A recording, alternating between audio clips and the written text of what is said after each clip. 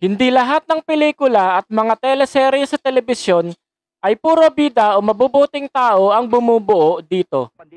Dahil palaging mayroong mga kontrabida na palaging kasama ng hinahangad sa bida at iba pang karakter. Sa pagkakaroon ng mga kontrabida sa isang pelikula, ay nagbibigay ito ng mas kapanapanabik na mga eksena. Nandiyan yung maawa tayo sa mga bida at magagalit naman tayo sa mga kontrabida. Sa industriya ng pelikulang Pilipino, ay napakaraming magagaling na mga kontrabida ang ating napanood na at hinahangaan. Isa na rito ang veterano at napaka-epektibong kontrabida na si Dick Israel. Kilalanin at alamin natin ang napakalaking kontribusyon ni Dick Israel sa industriya ng pelikula. Kung hindi ka pa nakasubscribe, please subscribe, comment, like, and share. Si Dick Israel o Ricardo Vizcarra Michaka sa totoong buhay ay ipinanganak noong December 10, 1947 sa Porac, Pampanga. Si Dick Israel ay kilala bilang karakter actor na karamihan ay kontrabida ang kanyang ginagampanan at kadalasan din ay sidekick ng mga kilalang action stars. Napangasawa ni Dick Israel si Marilyn Michaka at sila ay biniyayaan ng walong mga anak. Sa halos apat na dekada ni Dick Israel sa showbiz, ay nakagawa siya ng lagpas sa tatlong daang mga pelikula at dalawamput dalawang mga teleserye at pagganap sa telebisyon. Nagsimula si Dick Israel mag-artista noong dekada 70. Ang kanyang unang pelikula ay Bobby Jarilito Kanyada, Boy Habal Nito Net noong 1975 na nasundan ng mga uhaw na bulaklak sa parehong taon na pinagbibidahan nila Boots Hanson Roa Rosana Ortiz, Liza Lorena at Marisa Delgado. Katunayan ng pagiging mahusay na artista ni Dick Israel ay nang manalo siyang Best Supporting Actor sa mga pelikulang Patrolman noong 1988 at Canto Boy anak ni Totoy Guapo noong 1994 para sa Metro Manila Film Festival. Bukod sa pagiging kontrabida, si Dick Israel ay nakilala rin bilang sidekicks ng mga kilalang action stars. Ilan dito ay ang pelikulang nagkataon nagkatagpo noong 1994 na pinagbibidahan nila Rudy Fernandez at Maricel Soriano.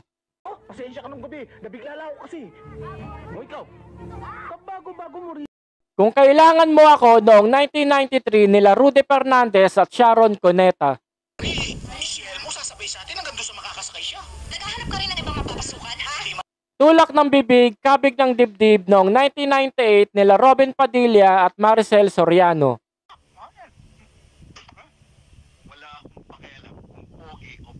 Kanto Boy anak ni Totoy Guapo noong 1994 na pinagbidahan ni Ian Veneracion.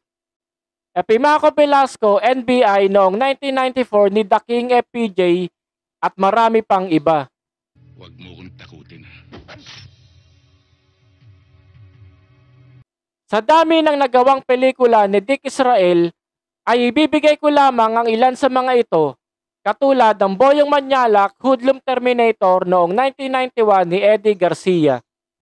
Ang Teacher Kampogi noong 1995 ni Ramon Bong Revilla, Aring King King, ang bodyguard kong sexy noong 1996 ni Comedy King Dolphy, The Best in the West 2 noong 1996 nila Lito Lapid at Dolphy, Partners noong 2003 ni The King FPJ, Boy Golden Shoot to Kill noong 2013 na kanyang huling pelikulang nagawa at napakarami pang iba. Si Dick Israel ay mayroong 22 pagganap sa telebisyon at ang ilan dito ay drama na kanyang nagawa mula sa Maalaala Mo Kaya noong 2007 at 2008 ng ABS-CBN. Gumanap din siya sa iba't ibang mga seri sa telebisyon katulad ng Maging Sino Ka Man noong 2006 ng ABS-CBN, Lupin noong 2007 at Kamandag sa GMA7.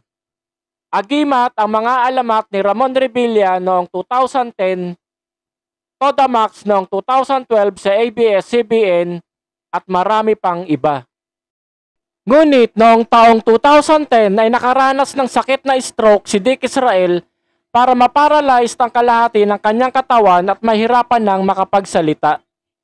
Umapila ng tulong si Dick Israel sa kanyang malalapit na kaibigan sa showbiz para sa kanyang pagpapagamot. Sa tulong ng mga kaibigan ay bahagyang nakarecover si Dick Israel at katunayan ng kanyang huling dalawang serye sa telebisyon at dalawang pelikula na kanyang nagawa bago siya pumanaw.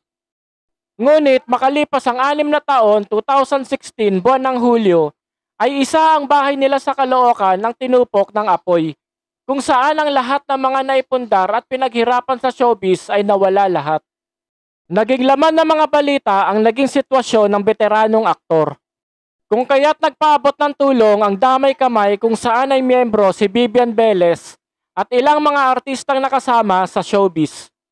Ngunit makalipas lamang ang tatlong buwan, October 11, 2016, ay pumanaw si Dick Israel sa kanyang tahanan. At wala pang isang linggo ay pumanaw naman ng kanyang asawa na si Marilyn. Sabay silang ikiniremate at inihimlay sa Eternal Gardens Memorial Park sa Caloocan. Hindi matatawaran ang malaking ambag ni Dick Israel sa industriya ng pelikulang Pilipino. Isang napakahusay na aktor na gumanap sa iba't ibang pelikula. Katulad ng ibang artista na wala na sa ating mundo, ay hindi-hindi siya malilimutan ng sambayan ng Pilipino. Mananatili ka sa aming puso at isipan. Sorry ha. Ay, ano naman. Hmm. Huwag ka magalala. Pag nakakita ako ng trabaho, mababaya.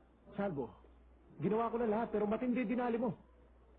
Alam mo ba sino Walang pumasok sa Sargo, Tira Manuel!